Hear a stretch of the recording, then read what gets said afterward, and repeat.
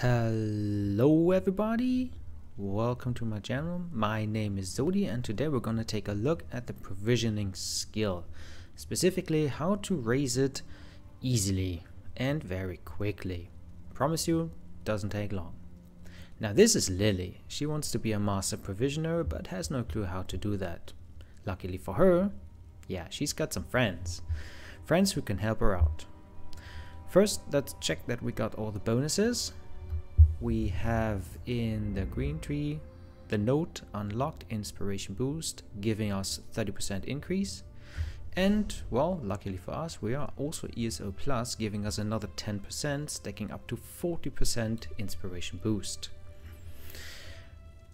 So the next thing that we're going to be needing is two skill points for putting that into recipe improvement later on so make sure you have two skill points available.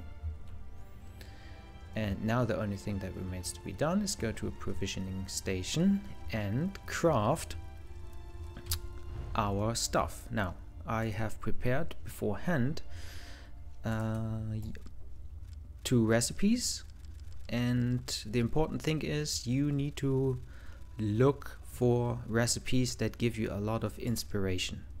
Now this one here is fried green tomatoes which scales from level 15 to 19 which is the highest possible recipe that we can craft at the moment therefore giving us the highest possible amount of inspiration. I am going to craft only 200 here at the moment because I want to get over level 30 or above level 30 so that I can reinvest uh, the two skill points and craft higher level recipes. So now we're gonna craft it, 200 pieces, which should get us above level 30 roughly. Now, isn't that satisfying? yeah, resident crafter. Very nice. And there we are, level 33.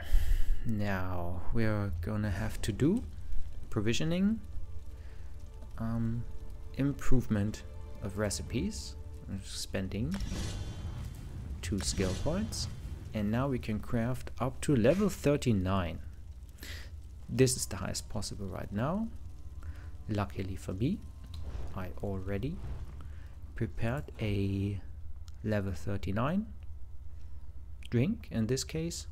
And we're now going to be doing the same thing crafting 200 of each. And if you are asking why 200 isn't it uh, better to craft the exact amount? And I always say ah well most of the time you're gonna have to be buying those ingredients anyways from guild traders and 200 is the going amount on, in which you buy them. So you know why not? Now craft that and we should be on level 50 haha! Master provisioner. Very easy very straightforward and not at all time consuming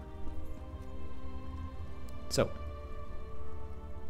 thank you for watching and have a nice day.